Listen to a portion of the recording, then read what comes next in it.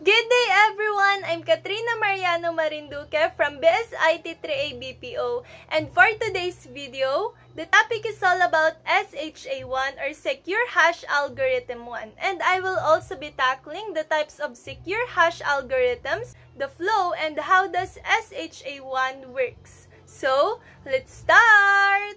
SHA-1 is short for Secure Hash Algorithm 1. SHA-1 is one of the algorithms in the secure hash algorithm family. The first family is SHA-0 which is 160-bit hash function.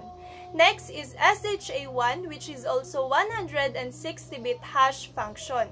SHA-224, SHA-256, and SHA-384. SHA-512 SHA 512224 and SHA 512256 belongs to SHA2 family and SHA3 family of hash algorithms since 2012. Most were developed by the U.S. National Security Agency or NSA and published by the National Institute of Standards and Technology or NIST. So what is the use of SHA in algorithms? All of the SHA algorithm is iterative one-way hash functions that can process the message to produce condensed representation called message digest. So what is the use of message digest? It is used for message integrity and authenticity. And any changes to message or text will result in different message digest. The flow the flow is a message that passes to the algorithm and will produce message digest. In this example, as you can see, there's a message that passes to the one-way shot hash function and produces the message digest. So how does SHA-1 works? Step 1 Take input text and split it into an array of the characters, ASCII codes. For example, a test. A is for 65, 32 is a space, ASCII code for space. T is for 84, E is for 101, S is for 115, and T is for 116.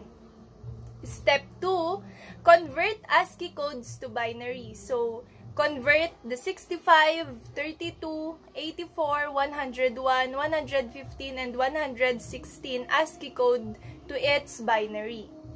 Step 3, pad zeros to the front of each until they are 8 bits long. Okay, so after you convert the ASCII code to its binary, next step is to pad zeros in front until you complete 8 bits long. Then step 4, join them together and append a 1. Step 5, pad the binary message with zeros until its length is 512 mod 448. Then step 6, take binary 8-bit ASCII code array from step 3. Get its length in binary.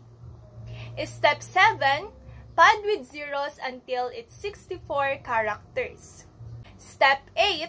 Append to your previously created binary message from step 5. Then step 9 breaks the message into an array of chunks of 512 characters. Then step 10 break each chunk into a sub-array of 16 32-bit words. Then step 11, loop through each chunk array of 16 32-bit words and extend each array to 80 words using bitwise operations.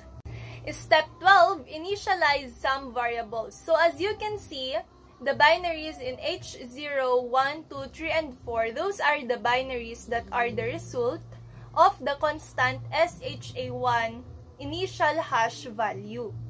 Then step 13, looping through each chunk, bitwise operations and variable reassignment. Basically, continually reassign these five variables with different values that are the result of bitwise operation. Then, Step 14, convert each of the five resulting variables to hexadecimal. And then the last step, join them together. And there you go. You already have your hash value. And that's all guys. That is all about the SHA1 algorithm and how does SHA1 works.